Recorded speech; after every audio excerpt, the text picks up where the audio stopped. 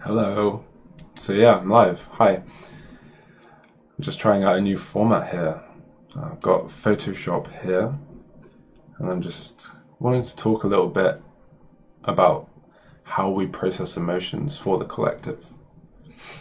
So, of course, my name is Zach Hayter, and I'm here to help people along their awakening and ascension journeys, make themselves more enlightened so that they can get to where they're intending to go. So yeah, let's get let's get started on this. So I just want to say a little bit about okay. Oh dear.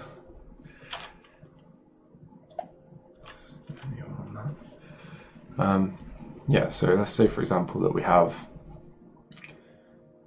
your typical kind of awakened empathic person.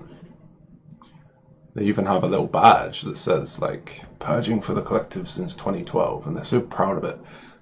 and they feel like they've taken so much weight on their shoulders and they're doing all of this stuff for the collective and like everything's on them and they've got to make it happen.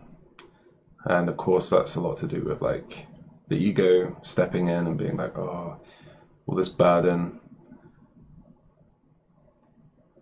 But really, yes, well, there is like one third of the population of the planet who's really diving in and doing the heavy lifting in that way emotionally.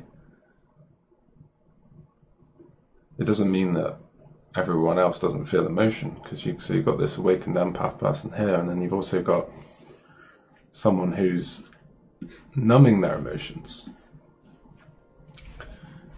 And I was always of the belief that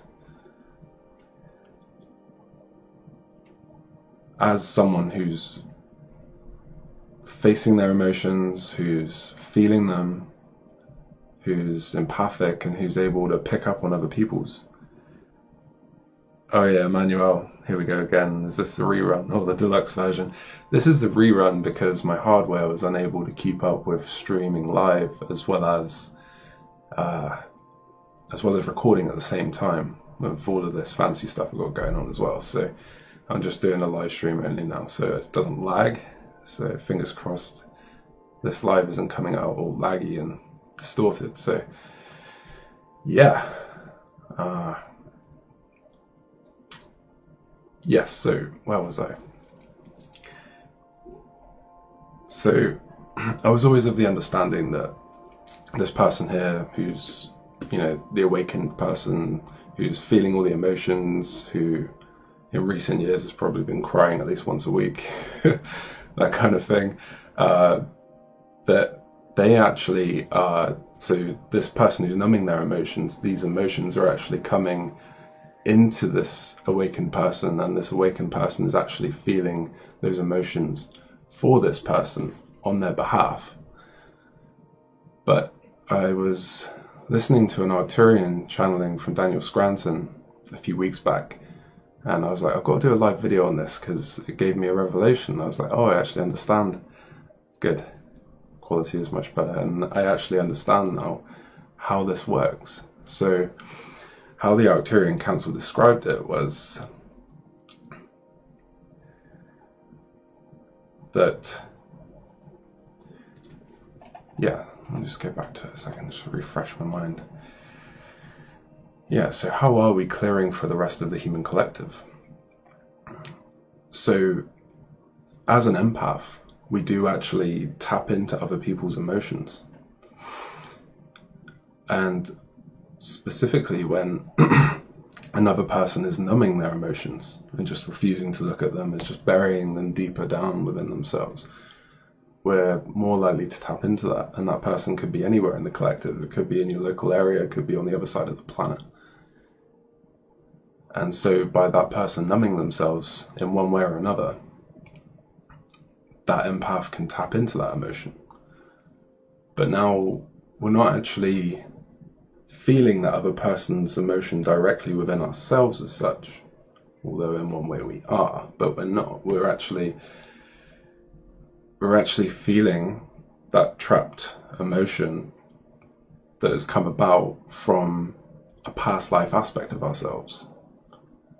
Say, for example, in a past life, we got abandoned by our family or something like that. And then, while we haven't experienced that in this life, that person who's over here numbing their emotions has just perhaps gone through that experience themselves. And of course, through that, they're then numbing their emotions, they're refusing to look at it, they're just depressed. They're not even, they just don't want to go into the pain of that too much. Us as the empath, or the empath in this situation, will actually feel that emotion based on that past life aspect of themselves, of what they've experienced. And so they're integrating them in that way. And they're becoming more whole and complete by doing this work for the other human in question. But of course, the ego doesn't like this. The ego will be like, oh, why? Why? Why am I doing all of this work for everybody else? And, you know, the ego is all about separation. It's all about the idea that I am number one, I am the only person who's here. There's no one else, and my ultimate goal is for me to survive for as long as I possibly can because you know that's the ego it's very it only knows what it knows and it's always trying to just protect the human body and to avoid any pain but then the true you the higher aspect of yourself the kind of put something in here like a circle the higher aspect of yourself your your higher self your higher consciousness knows that you are not just this person you're not just this person, but you're also this person. You're also the entire planet as well. You know, everybody and everything. You are connected to all that is. And so, by this person doing this processing, this internal work, they're actually they're actually cleansing, processing, and clearing for all of these other humans because this person here also represents another aspect of this person here. So by us doing this work, by us doing this work, we're actually processing for both of us, even though we're feeling our own emotions, not necessarily directly that person's emotions. And yeah, that's why people who are doing this work are responsible for the spike in our evolution of consciousness at this time. And uh, yeah, there's a lot of people that are in need right now. You know, like there's a lot of people who are going through a lot of anxiety, they're going through a lot of fear, a lot of sadness, anger. But in typical awakened soul fashion, the awakened soul is actually doing something about it. Is actually facing the pain head on, as painful as it may be, and it is. Yeah, we're all humans. We can all relate to that. We all know that emotions are really, some of them can be very painful and really hard. You can be shut down, curled up in a ball on the floor. Whew, heavy stuff. So yeah, I'm glad I could share this because it was something that I always thought, you know, oh, I'm just gonna, everyone's gonna bombard me with their emotions and I'm gonna have to deal with them. No, it's more you're just dealing with your own, but you're getting triggered to deal with your own through what other people are experiencing around you.